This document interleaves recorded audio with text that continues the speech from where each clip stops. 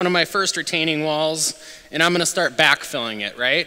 So I'm gonna get my, my excavator out. We're gonna start dumping sand behind the pile here. Now, this sand has a really nice moisture content, so it really kind of locks together pretty well. But what I'm doing is I'm just dumping this stuff in the cylinder, just filling this cylinder up. No compaction, no reinforcement. This cylinder is just getting dumped in here, right? The material's just getting dumped in.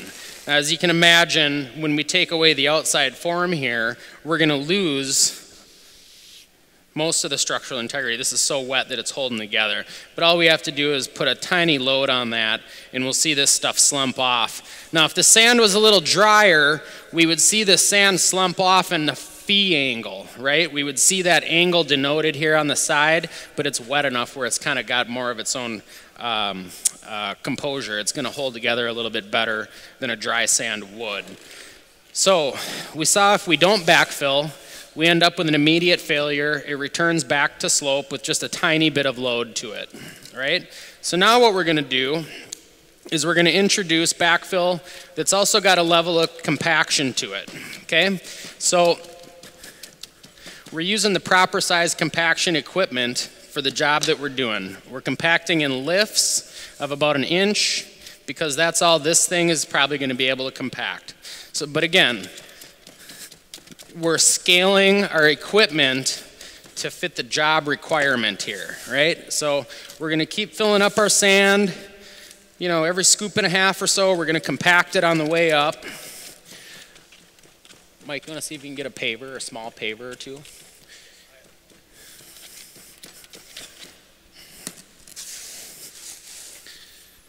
All right, so here we have, that'll work. Here we have compacted sand, right? So we've gone up all the way, we've compacted it in lifts all the way up. As we remove our form, we should see this stuff stand pretty well put together, right? We've got our vertical walls, it's staying in place pretty well. But when we add a load or a surcharge to this, we can see it starting to slump off, right? If we add another block, well, sure, we can use this one. Okay, so as we add another block, we can see that immediate failure occurs, right? Even though we compacted our material, that down pressure was enough to blow out the sides of our retaining wall had we not used any backfill or uh, reinforced backfill in GeoGrid. Now, what we're going to do is do it the right way. We're going to backfill our wall, same way we did before. We're going to compact in lifts, same way we did before, but we're just going to introduce these little circles of weed fabric, and these denote GeoGrid. And I know I just got done saying never use a GeoGrid substitute, right? So you'd never use this behind a wall, but for the purpose of demonstration, it works really well. So we're going to go ahead and set our grid in. Run a little more sand in there. We're to go ahead and start compacting this material again. So this is the same thing as packing in your two to four or six inch lifts behind the retaining wall, right? We're running our vibratory plate packer uh, right up against the backside of the wall to achieve our 95% a standard Proctor. So we'll go ahead and introduce some GeoGrid in here as well. Go ahead and pack this in. I was telling my guys, right when you think you're done packing, go another five or 10 minutes. You just can't, you can't overdo compaction, right? You want to make sure that you have proper compaction behind these walls. We'll go ahead and do the same thing. I'm going to introduce one more layer of grid. And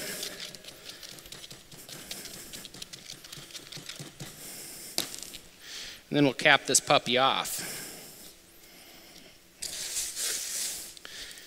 Same process. We're just filling up this cylinder with sand as we go up. Got a little left on the table, so I'll take and add a little bit.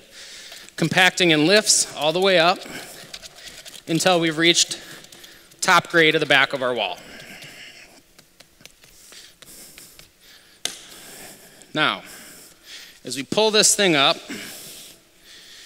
we're not going to see the grid lengths yet, right? You can maybe see a little bit of lip right here where the grid is showing through the face. But what we want to do to this now is start, start adding a surcharge or a load to it, okay? So we know that even unreinforced, it was able to hold this block up, right? So let's go ahead and start with something a little bit bigger because this is where we saw failure on the first demonstration. This is half a Versa block, 42 pounds. Okay? So as I kind of wiggle this thing around, you should start to see between the layers here, you're going to start to see that phi angle appear. It's actually kind of manifesting better on the sides and the back here. But what we'll see is that a little bit of material around the edges is going to start to shed out between these layers of grid. But overall, the structural integrity is still there, right? So we've added 42 pounds. Let's double our load. Let's double our surcharge. We've got another 42 pound block on here, right? We'll go ahead and stack this on here. As long as we get this on fairly even, this thing is still able to support that load, right? That blowout's not happening anymore. The only thing that we changed between those the second and the third demonstration is that we added these layers of grid in here, right? And even as I kind of play with the outside of this and I start shaving away sand, we start to see those mini phi angles emerge, right? Those little failure planes that we talked about. You saw a lot of slides up there that kind of showed what that would look like. So we see those failure planes start to manifest around the side of this sand. Now, we could probably stack these blocks up until we break the table, to be honest with you.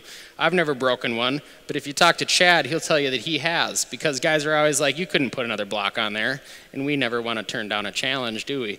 So we're always trying to put on more weight, but the bottom line is, is that uh, introducing just a little bit of soil reinforcement between these layers of sand has taken this from failing at a 40, 40 pound load to all of a sudden being able to double that and still stand up to the load. Now, even after I shaved around the edges, just to prove the point, let's put one more block on there and see what happens. Somebody say, Don't do it, you're crazy. Okay, so you can tell I'm not, I'm not holding this block up at all. I'm just kind of stabilizing it so that it doesn't fall on me. But this little column of sand, because it's got the geogrid soil reinforcement in there, is able to carry three times, more than three times the load that we initially introduced and saw failure with, right? So the same principle is at work behind your retaining walls. So not that it's magic, but it's kind of magic, right? And this is why I kind of I like to show my new hires this because it just drives home how important the geogrid is and why you can't skimp on grid lengths or grid quality or the gradation of the grid. You got to make sure and follow what your engineer specs for your wall. All right, we'll just go ahead and slide this stuff back a little bit.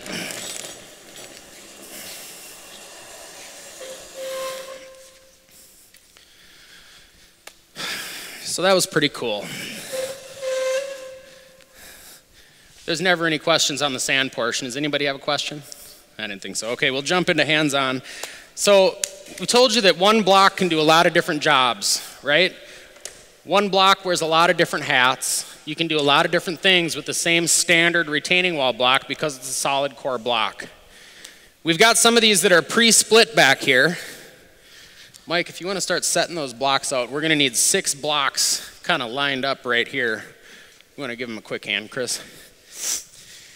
So we've got this block here that we've split in half. Whether you use a chisel or a hydraulic splitter or a guillotine splitter, you can achieve a really nice manufactured edge by just splitting this block in half. Yeah, we're going to use these.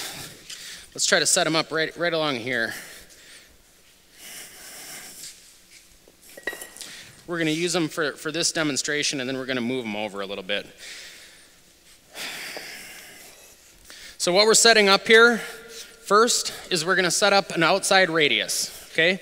You guys remember one of the one of the properties that Versa-Lok has is that you can turn a maximum of an 8 foot outside radius or an outside curve. Now, that means, I don't know if you can see this here, but that means that this area at the back of the block is tight up against the next block, okay?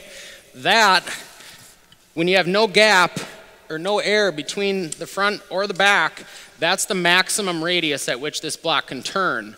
The reason that's so important again is that as you build up, your radius gets smaller and smaller every row you stack up.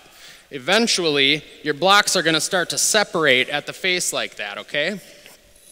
So in order to combat that, like I said, some guys will make a jig, right? They'll have a jig that might be a half inch, quarter inch, three eighths inch. But what, what that'll tell them is that when they have that amount of distance back here, that they're set up at a 9 foot, 10 foot, 11, 12 foot radius, whatever it might be, you've got a jig so that your base can be wider than that 8 feet. So you'll end up at 8 feet at the very top of your wall. Okay? And again, you want to make sure you do that because otherwise your blocks will start to separate at the face on you like that. So now that we've shown the outside curve, let's go ahead and move these around a little bit we're going to go ahead and show you the inside five and a half foot radius. I told you on the, the outside radius, sometimes I'll use my pinky wedge, right? I'll take my pinky finger, and if that fits between the back of the blocks, I know I'm good to stack up to about three feet like that, right? So that's my predetermined pinky jig. Whenever you can use something simple, fast, easy, and effective, take that opportunity. Now what we're going to do is set up at an outside radius.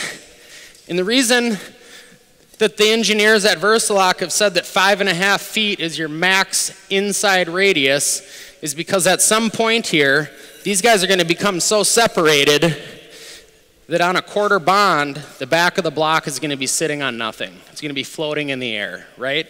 So you want to respect that five and a half foot inside radius capability.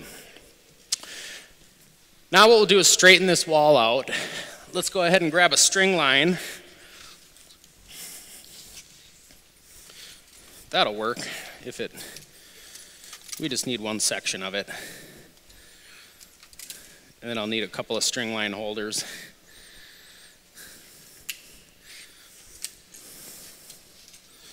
That's fine. Perfect. Cool. All right, Mike, you want to give me a quick hand or Chris, when you're done with that. So uh, typically this string line is going to be spiked in, right? You're going to have a 10 inch or a 12 inch spike that you're going to knock into your class 5 base. Now as you pull this thing straight, you can see here that along the back side, you're going to be able to come in and make these blocks even with your string line. And again, you do not want this string line to make contact with the back of the block, right? if your string line is touching the backs of any of these blocks, it's going to mean that the string line is deflecting. And whenever the string line deflects off the back of a block, it's going to cause you to build a curved wall. We like laser beams, right? We like them to be straight and perfect.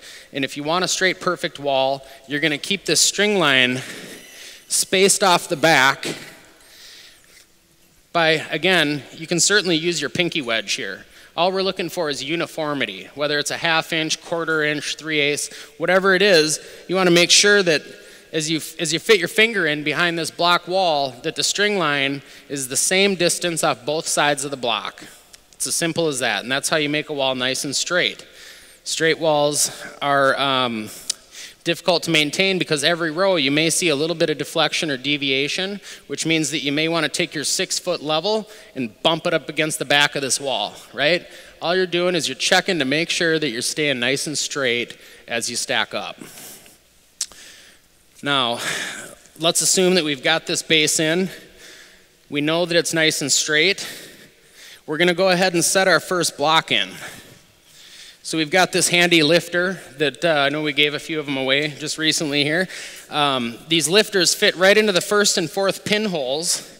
And as you go ahead and set these blocks up on top of each other, one thing I always tell my guys to do is give them a shimmy, right? So you're going to take these blocks and shimmy them back and forth a little bit.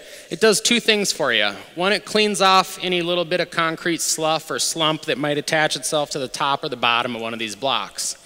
Second thing it does for you is as you're stacking these walls up, it tells you if you've got any deviations.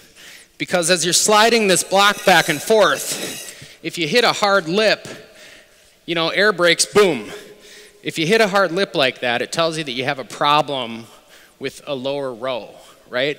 Your level is off a little bit for some reason. So I always have my guys skim these blocks off back and forth a little bit before we pin them. Now let's go ahead and let's pin our first block. Cool, thank you. So what Mike brought here is he's got two different styles of, of pins. We've got a standard Versa-Lok pin, right? This is going to be used for a standard six inch tall block. And then we have what's called a snap off pin. This is what you're going to use to pin together the accent blocks in the mosaic panel. So we see behind us here, we've got some four inch tall blocks. These snap off pins are going to be used for that system, right? So you can just kind of pop that top off like that, and now you've got a shorter pin that's going to fit down inside of the accent block without having it poke out through the top and cause a problem for you.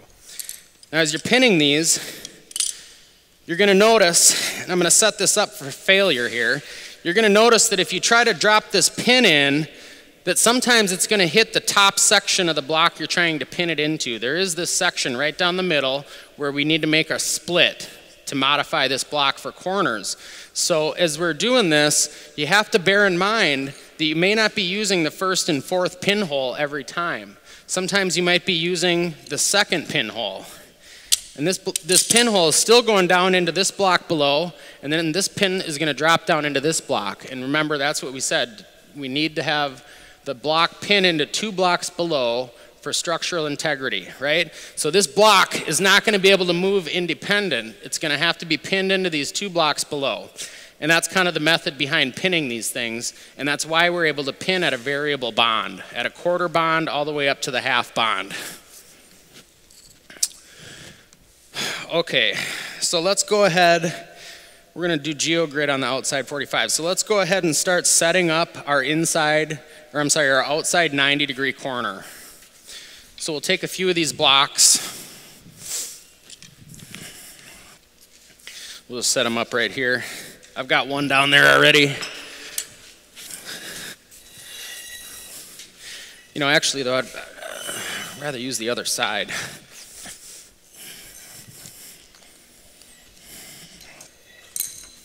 Okay.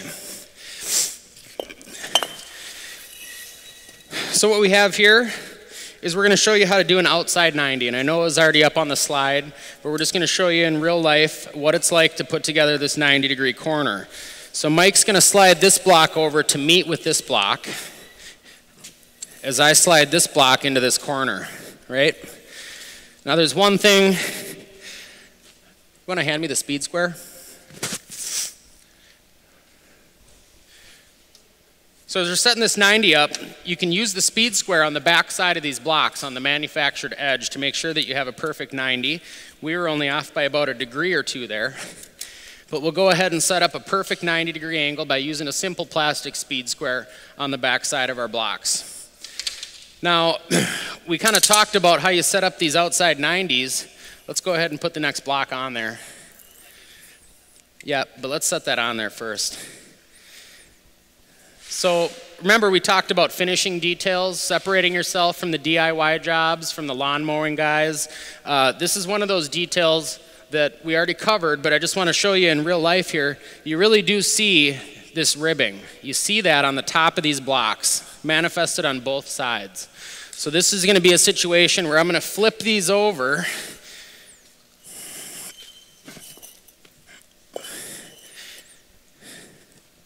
And now as we stack this thing up, you're not going to see that. It just gives you a nice finished look.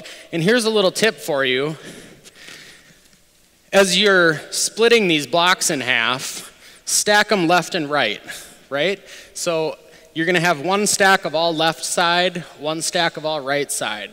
It's just going to make it easier to figure out as you're stacking corners and pillars which side of the block you need to use. For corners, it's going to alternate. You're going to use left, then right, then left, then right. For pillars, you're going to go all the way around with all lefts on one row and then use all rights on the second row, okay? So as we stack this thing out, let's go ahead and slide this block back. Now we can slide these over and we're going to go ahead and create an inside 90. If you want to start filling this in a little bit. Yep, just like that. And again, we're going to be using a block adhesive here, right? The corners are going to be glued. The rest of this can all be pinned at that three quarter inch setback. So let's stop right here. What Chris did is he started setting up our wing wall. What he did was he set this block up so that it's far enough back that we're going to be able to overlap on top of it. Okay? And again, we're trying to tie these two walls together so that they don't move independently of one another, but so that they're dependent on one another, right? So we want to have kind of a marriage here in the, in the very corner where now our next block is going to overlap onto this wing wall.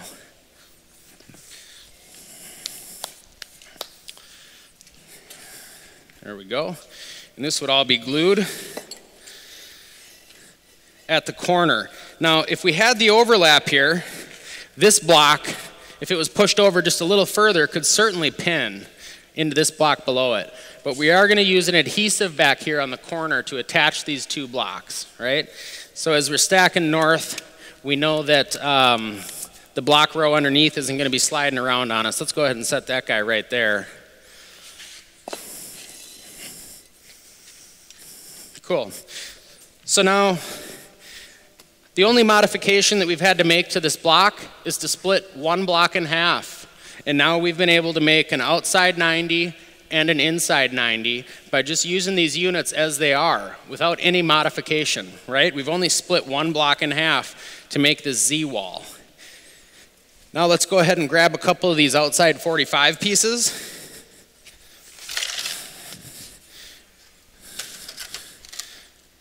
I'll take that one.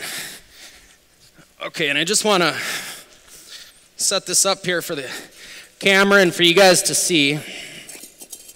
The only two things that we had to do to this block is we split a 45 degree angle off of the corner, and typically we like to see this section saw cut, right? Uh, they split this one, but if I was in the field doing this, I would want to see a saw cut here, and you're going to see why in just a second.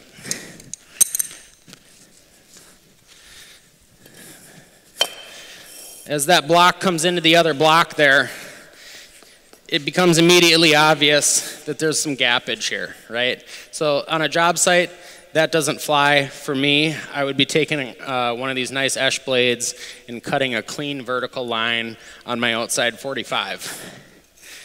But for the purpose of demonstration, we already assumed that we have level base we assume that we have good conditions, so we're making some assumptions. We're going to assume that we would also make a saw cut there rather than a split, right? So let's, yep, let's go ahead and stack up another one.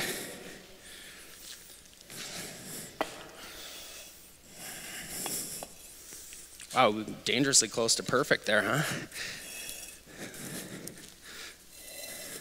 So again, on these outside 45s, we're going to be putting a little bit of glue between these two blocks, but this block will pin down into the block below it over here. Okay, so you can still pin these systems.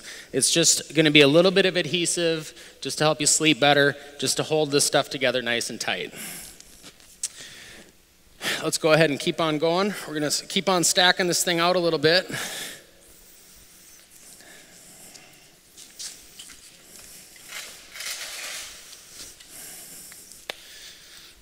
Put another block or two on top of there.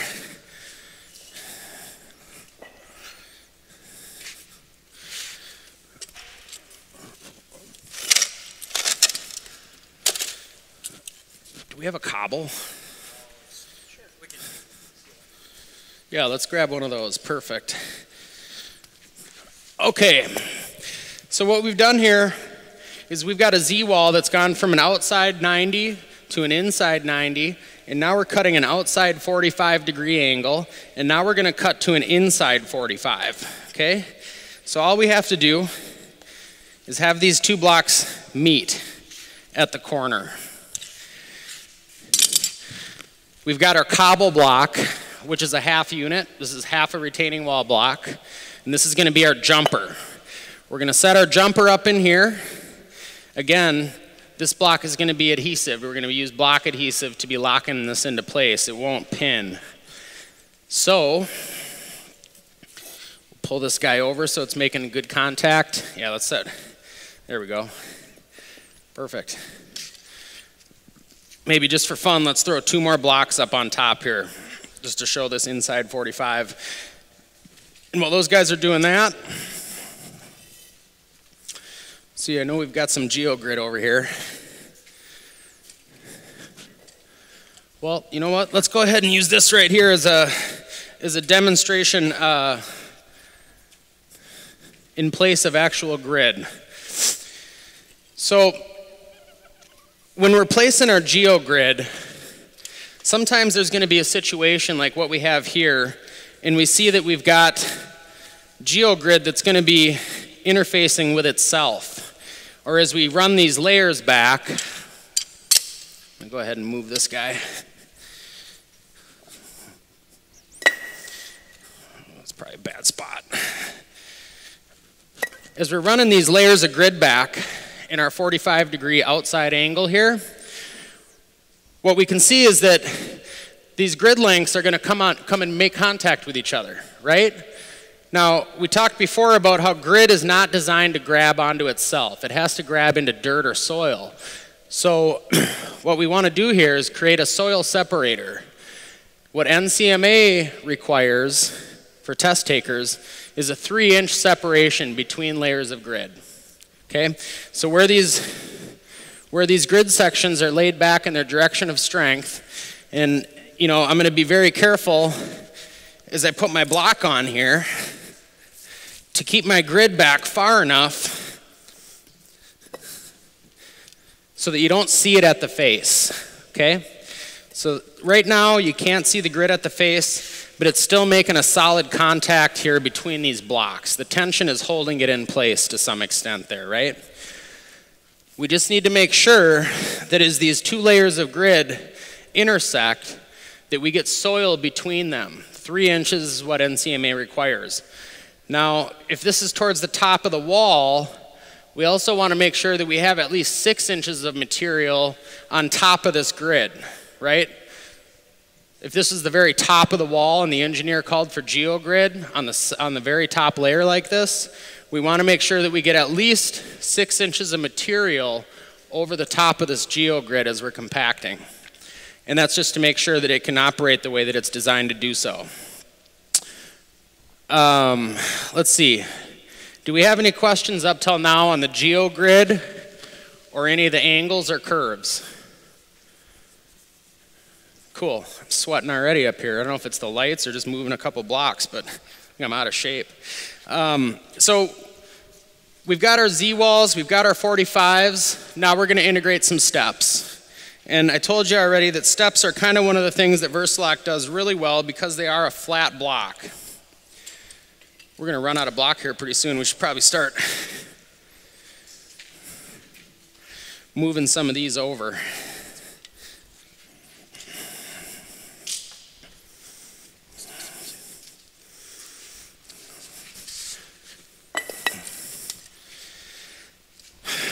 Okay, now the way that we're doing our steps is as a separate component. We aren't really tying the two together in this case.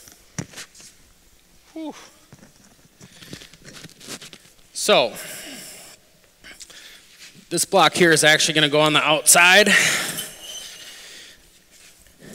Our first stair riser, I'm actually going to set back. And you can see here that uh, I've set this block back a couple of inches.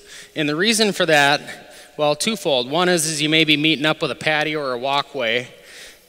But it's really so that as the stair tread comes out and you have that eyebrow, it doesn't create a trip hazard or it's not an ankle buster, right? Because if we push this block out to be even with the face of our wall, as we attach a tread with an eyebrow to this, it's going to hang out past the face of our wall, right? So it's just one of those things that you can do to make your job more streamlined. Set this thing back a little bit so that as we cap our stairs, we don't have the capstone sticking way out past the face of the wall, hitting people in the ankle, and uh, causing problems. Yeah, sure.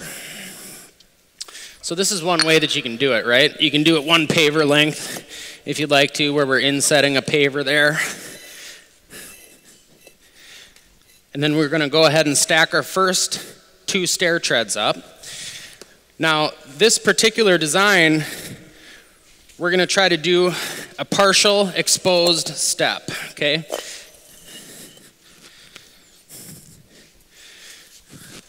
So let's go ahead and stack up two more behind here.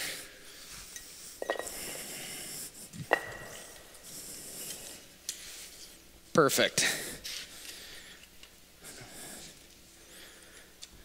There we go.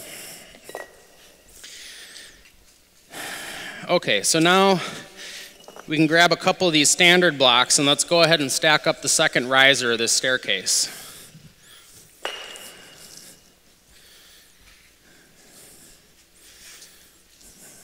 There we go. We're going to have a little bit of overlap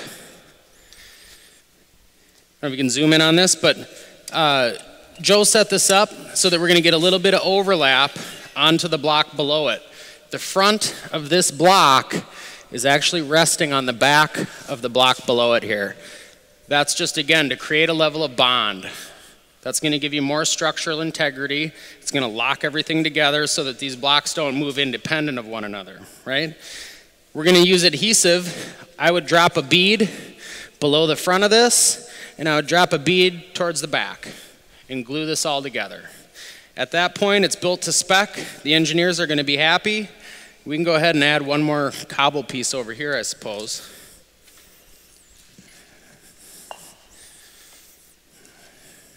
Perfect. Cool. So, you know, what did it take us about five minutes to stack up these two treads? And assuming that you have your base material done correctly down there, it's really this easy on site. Once the compaction and the leveling is done under here, it really is just stack and glue, right? So it goes really quickly. Um, what we'll do here is we'll go ahead and why don't we start to uh, cap these stairs. We're going to do it two different ways. We'll grab that, that bullnose corner there. Thank you. Now this is something that uh, has been pre-made. We've used it at a couple of the seminars, obviously, but these are our bullnose pavers mitered across the corners so that we have a finished edge on two faces here. Let's go ahead and throw down a couple more. Now we're going to switch over to the weathered ones. So what we're doing here, guys, is we've got um, we've got the bullnose treads. We just want to show because we're using a weathered block here, that really it's just an aesthetic difference between using a weathered bullnose tread compared to a, we really, uh, well, we really could slide this over a little bit to accommodate that. Let's go ahead and do that. A little more. A little shake, a little shake and bake. Okay, cool. So we got this to fit pretty nicely. Now I would always take a straight edge and run across the face of these to make sure that they're going to be nice and straight across here. But you can see now why we set that first stair tread back, right? It's so that we're not hitting on these treads as we walk by the wall. It's all nice and evenly lined up. Let's go ahead and use our broke face treads to cap the next tread or the next riser. Now, the reason that we wanted to use a broke face tread on the top is because sometimes the top stair is leading up to a patio, right? Now, if you have a six centimeter paver that you're using up on your patio, the bullnose is going to work great, two and three eighths inches. Bullnose is what you want to use. However, if you're using a slate stone or a euro stone or a decra stone application, that's a seven centimeter paver, more like two and three quarters inches in height. So that's where it's really nice to be able to just split the face of these blocks and create a rough texture that matches your block, right? And then it's also going to match the height of the paver behind it. And if you look here, you can see that it makes a difference. We're using a seven centimeter paver behind this here, so it matches the height of our tread. If we had used a shorter paver, there'd be a trip hazard there. And I think we actually have one more right behind you there.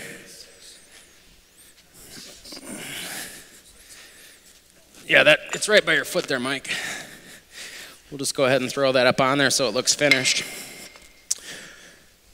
Okay, the next thing we want to do is, uh, as part of this design, we sold, we upsold a pillar or a column, right? So we know from the stuff that we've already seen that a pillar is super easy to build. All we have to do is split blocks in half. This is where it gets to be really important to separate left from right. We did that as we stacked these up. We set all the right hand blocks on one side and all the left hand blocks on the other side. We did that so we didn't have to look stupid in front of everybody trying to figure out which side goes on which row. Because as you're stacking up, each row is going to be all lefts, and then all rights, and then all lefts, and then all rights again, right? So we're going to separate those out as we stack them.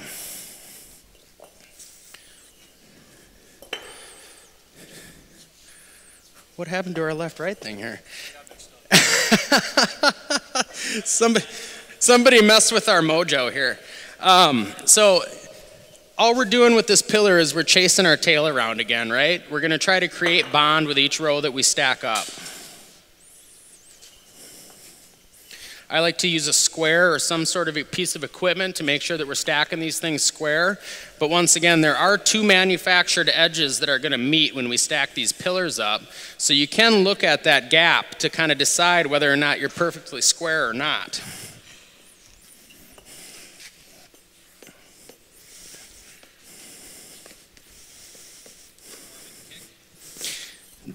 That's, uh, I, I, I, highly suggest everybody invest in a, in a nice pair of uh, boots that have a toe wedge included on the tip. That way, if you have to kick a few over, you can just use your toe wedge along with your pinky jig. All right, so we're to stack this up a couple of rows. We'll go, we'll go one row higher after this one, I think. Let's go up three. One really nice thing about Versa-Lok is that because you're able to use the same standard block to create half splits and back split blocks, you can kind of seamlessly transition between traditional retaining wall applications and freestanding wall applications, right? So that's one thing that we're going to do here on the corner. Well, you guys are doing that. I'm going to go ahead and get this freestanding wall started.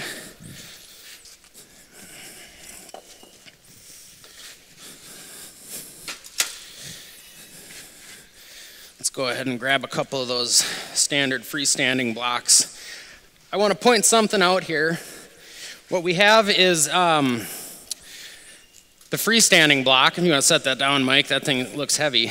Um, the freestanding block is our traditional retaining wall block with the back two inches split off of it, right? It's not a special unit that you have to order. This is the standard block unit. It's just got the back end of it split off so that it has a matching face to the front here, okay? So, what we've done is called an off-center split. This is a back split block, freestanding back split block, that has also been split off-center. We didn't split it right down the middle because in order to get any level of bond with a freestanding application, we have to do an off-center split. And you'll see what I mean by that. So let's flip this guy over so we don't see those rib lines, right? We'll flip this guy around.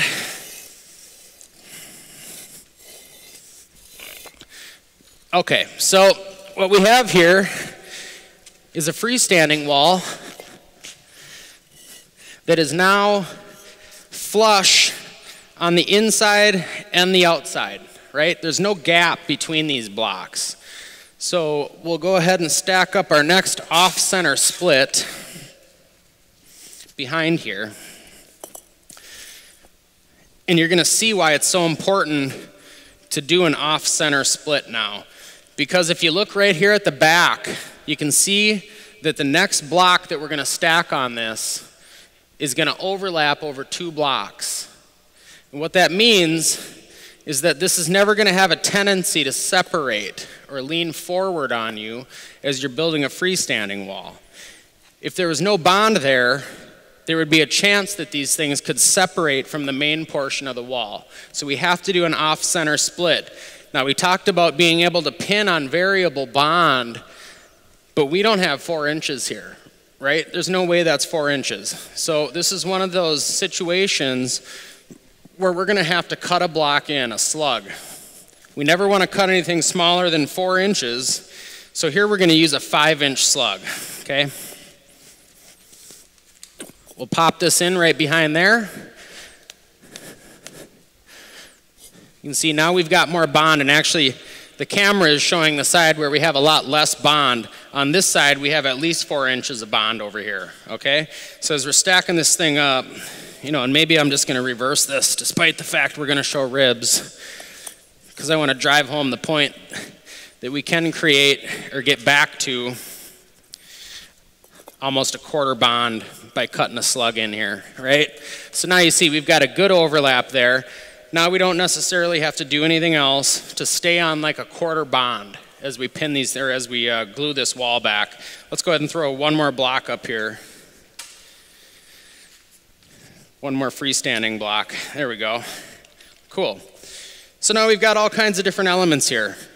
With any other manufacturer, you'd have to call and order special corner units, you'd have to call and order special stair units, you may even have to order special 45 units if they even manufacture something like that. But with Versa-Lok, we've got one block that we did all these different jobs with. Freestanding, outside 90s, pillars, stairs, multi-angles, curves, all done under the same umbrella with the same single block by just making a few simple modifications. I've been beaten up upselling all day, so let's talk about something that we can do to add a little bit of aesthetic interest to one of these projects. We're going to go ahead and add a band of black through our freestanding wall. This is something that I do quite regularly on my projects. I might add, um, I might add a contrasting color to my wall. Now, this is the sake, you know, for the sake of uh, demonstration.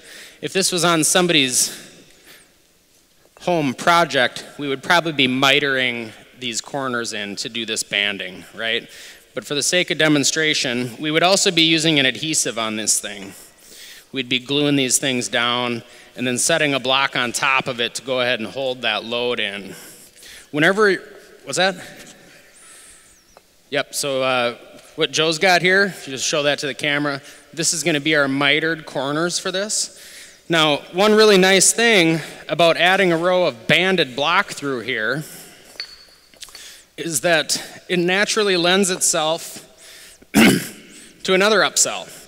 Maybe you want to add some lights. You want to do some LED lighting, add some banding, you know, two birds, one stone. We've done now an accent band through here. We can use this channel that we've created between the pavers to actually integrate some lighting into this project. Pretty cool. So now we've downlit our entire wall. The other cool thing about the pavers is that between the chamfers here is a great place to run that wire. And so you've got kind of a natural conduit here. You don't have to do much fabrication to add a light. Let's go ahead and set that three-piece capstone up on here, see how that works out. Hercules! Okay We'll try to get that on there fairly evenly. It probably needs to come forward a little bit, huh? And my way a little bit. Okay, cool. Okay, cool. So, you know, very little additional effort was required here, but now we've got something that's, that's well above standard. It's superior to all the cookie cutter stuff that everybody else is doing. You know, you've thought outside the box. Um, this downlighting I think is really doing a good job of selling us too on why we're going to flip our blocks upside down, right? Uh, so that we don't see these channels in here. If this was somebody's job, we would of course be flipping that block over, especially if we're going to downlight that area and make that a highlight area. But uh, really nice aesthetic to that all of a sudden, right? All we had to do was add banding and a contrasting cap. This is one of Versa-Lok's new coping caps this year. This is actually a faux natural stone cap or a coping piece. They've done a really nice job making improvements over the years to this mix where this looks just like snapped blue limestone to me. I mean, it's incredible how, light, how, how uh, realistic these coping stones can get now. Um, Willow does a great job with these. This looks very natural. So now we're going to talk about the pillar. We're going to integrate the same, the same upsell to our pillar, okay? Now, for the sake of continuity, if we were doing a patio down here, I would imagine that we would be matching this accent band that we're doing through our freestanding wall, right? We'd be uh, tying these components together so that it looks planned, so it doesn't look like an afterthought. You always want to be thinking about ways to make your colors uh, jive between different components, right? So if you're going to do an accent that's black over here, you may do an accent in the patio that's black. But for the sake of demonstration, we're actually doing a light accent row through this. Now you can see that in this case, we have gone ahead and mitered these corners together to give it a really nice finished look. And again, part of what we're doing here today is trying to show you different variables or different uh, approaches, different ways to do things. Once again, there's always, you know, going to be a different way to peel an orange. One may not be better than the other, but it's important to know what's out there, uh, what kind of methodology is available to you. And so for this case, we're going to go ahead and switch up the color of our pillar accent because we're going to use a black cap on top. So we're kind of reversing that contrast. Like I said before, high contrast designs are really what's in right now. Everybody likes that black white contrast, right? Whenever you can have a light color next to a dark color, it makes it pop. It makes it that much better. So once again, we mentioned that with a with a with the pillar, the 20 by 20 pillar, you end up with a 4 by 4 conduit up the center. So you can run your electrical wires up through the pillar, and then you can add some nice LED features like what we have right here. Um, are there any questions on the freestanding or pillar applications? Awesome. Awesome. Okay, we've talked about the geogrid. We've got the inside outside 90s done here. Um, talked about upselling. Always be using an opportunity to uh, to elevate yourself over you know the competition. It's like I said before. We might all be some at some level we're competitors, but at some level we're all working together here too, right? We're trying to keep our industry uh, we're trying to keep a high level of quality for the entire industry, industry wide. That's why we do these educational seminars, so that everybody's on the same page. We all know there's, there's a method to the mayhem, right?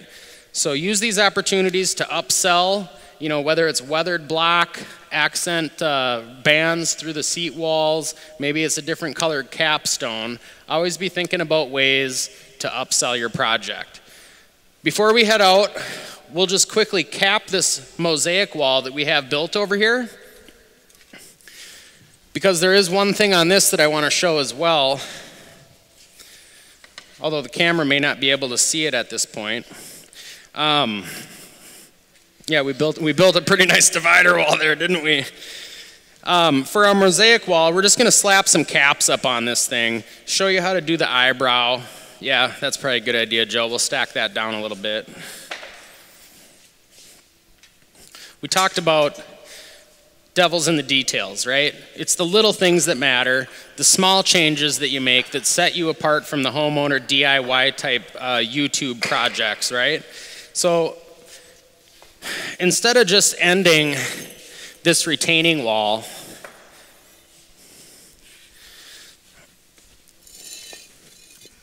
with this manufactured edge, and what I say by end is I'm talking about over on this side right here, and I think the camera can kind of get in there.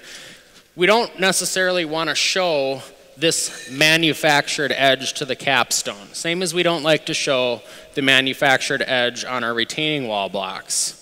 Super simple things that we can do to hide that and make it look much more finished. Now what we've done here is gone ahead and figured out ahead of time what size our splits need to be. So in order to do that, as we set this block in here, what we're going to do is we're going to measure this distance from the corner to where our step up is. So say it's 34 inches. We're going to divide that by three and try to come up with a median number so that we end up with even block segments. We don't want to have a little teeny slug cut into this. That makes everything you've done up till this point almost worthless to, to inject small slugs into this. So ahead of time, we figured out that we were going to need like a 10 inch split here, right? So we've gone ahead and we've split this block off on this side so that we're finished on two faces, right? And then as we marry these two and push forward to do a little bit of eyebrow action, we've used a half split on the end here, right? This half split now has finished texture on both the face and the side. So we use that to our advantage now. And we're going to go ahead and set this block up on top of that block. We've got a little bit of extra overhang there, and I think it's because we didn't do quite enough on this other side.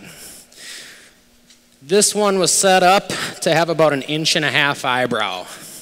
But whatever you want to do, it doesn't have to be an inch and a half. It could be an inch, it could be three quarters, whatever you want to do for your eyebrow.